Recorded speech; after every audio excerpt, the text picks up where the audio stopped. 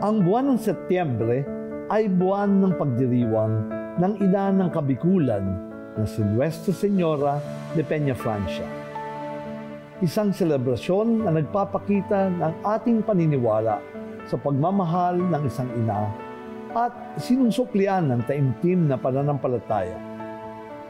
Mula sa Philippine Charity Sweepstakes Office, ako po si General Manager Mel Robles na bumabati sa inyo ng isang mapagpalang kapistahan. Viva la Virgen! Viva el Divino Rostro!